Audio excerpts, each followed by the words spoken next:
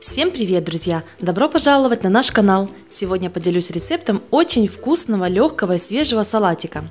Такой салатик готовится за считанные минуты, состоит из нескольких простых и доступных ингредиентов, получается очень вкусным, полезным, он украсит любое ваше застолье.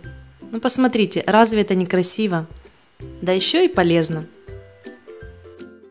Для его приготовления понадобятся простые ингредиенты. Это большое зеленое яблоко, морковь, салатный микс. Кстати, салатный микс можно заменить любой капустой, салатными листами. Также понадобятся семечки, горсть клюквы любая зелень. Морковь шинкую на терке по-корейски, получается очень красивая тонкая соломка. Отправляю ее в салатник. Яблоко Именно зеленое яблоко я беру для этого салата, так как оно дает особый вкус. Разрезаю на 4 части, удаляю сердцевинку Режу тонкими пластинками, а затем шинкую на тонкую соломку.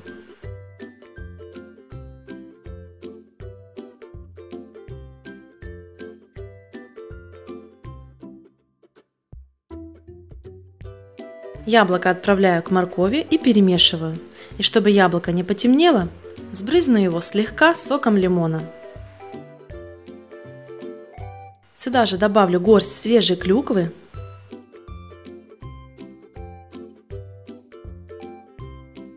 и салатный микс. Можно взять любой салат, который вам нравится, или заменить на капусту. Готовлю салатную заправку. Беру столовую ложку французской горчицы, добавляю одну чайную ложку натурального меда, сок лимона. Регулируйте на свой вкус. Я взяла 2 столовые ложки. И любое масло. Можно взять растительное, оливковое. У меня было кунжутное. 5 ложек. Все это хорошо перемешиваю. Соус начинает сразу же густеть. Немного подсаливаю. Пол чайной ложечки соли будет достаточно. И салатная заправка готова. Поливаю салат.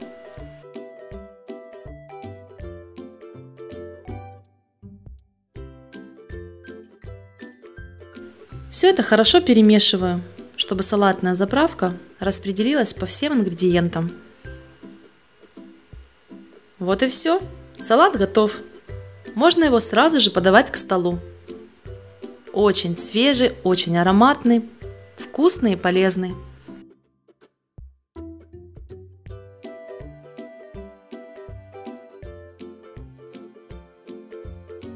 Сверху его посыпаю разными семечками, семечками тыквы, подсолнечника, кунжута и льна. И украшаю съедобными цветами. Минимум продуктов, максимум удовольствия. Но посмотрите, разве это не красиво? Да еще и полезно. Такой салат понравится многим. Попробуйте приготовить такой салат и вы, порадовать себя и своих близких. Всем приятного аппетита! Пока-пока, до новых рецептов!